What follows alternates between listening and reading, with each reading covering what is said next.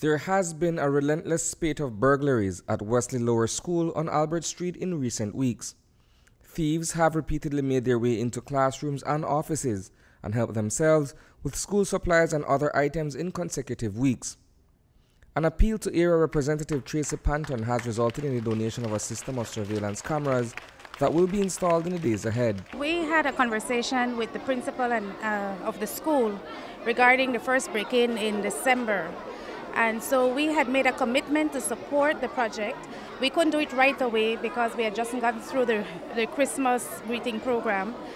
And when we heard of the most recent um, break-in, we thought we'd reach out to our friends in the business community to see if they can assist us to complete the project. And as you know, Tropicana Casino uh, responded very readily and gave us a contribution of $2,500 towards the security system for the school. According to Principal Shirley Saldano, the frequent break-ins were frustrating since they set the school back considerably.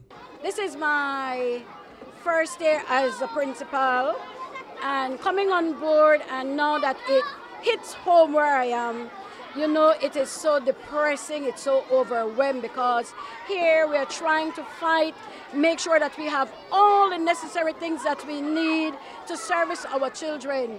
And for these thief, thieves to come and just set us back, man, it's like moving one step forward, going back another two, three steps backward.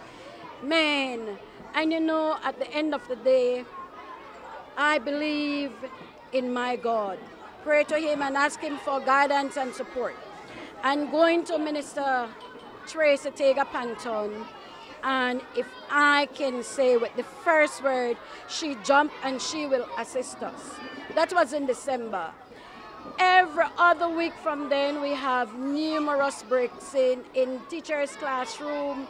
And then last Thursday, the office again got it.